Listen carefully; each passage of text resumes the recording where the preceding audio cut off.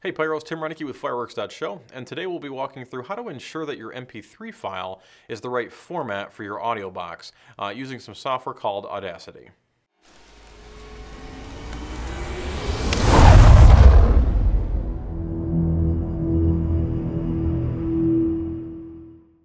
Alright, so this should be a pretty quick video. Um, I just want to go through how to make sure that your MP3 file is in the proper format. So when you load it into your audio box, uh, you don't have any issues. So I'm going to go ahead and I'll load up a bit of software called Audacity. You can use any audio editing software that you have, but I'm going to use Audacity mainly because it's free. So if you don't have it, you can go ahead and download it. I'll link that up in the description below. There's a lot of great YouTube videos out there um, if you need help installing it, so just go ahead and reference those if you need to. Um, so if you watched the uh, Musical training video, uh, we used Ghostbusters. So I'm going to go to File, Open, We'll open up that MP3 file.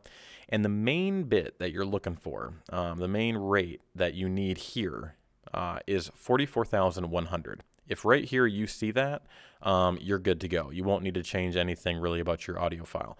If it is not, if it's like mine and it says 48,000 or 32,000, head down to the project rate in the lower left hand corner. Click on that and set it to 44,100.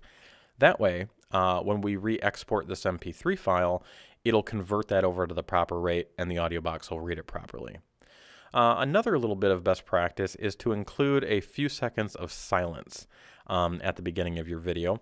That way, when you um, arm up your remote and you start your script, it gives the remote and the audio box or box just a second to kind of sync up so you don't get any um, audio distortion or skipping or anything like that.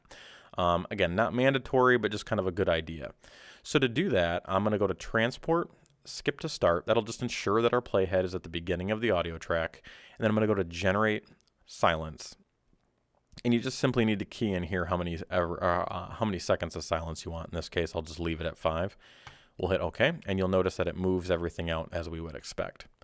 Then we simply need to export um, so that everything gets converted over properly. So I'll go to File, Export Audio, and there's a few uh, settings here that you need to be aware of. The first of which is the bitrate mode. This needs to be set to constant.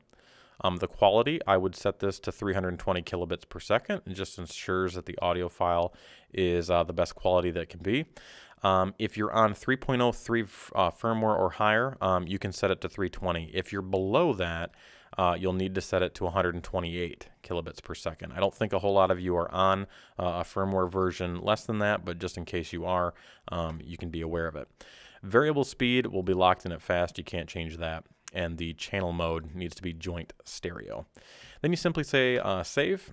In this case, it already exists, so I'm going to go ahead and replace it. And then you can just say OK uh, through the next dialog prompt. That will uh, export back to your computer. And then we'll just confirm by going to File Open, uh, and we'll reopen that file that everything has been converted over to that rate uh, that we would expect. Alrighty, so that about wraps this one up. If you like this type of content, please hit that like button and subscribe. It'll keep you informed to our future content that we release. And as always, thanks for watching.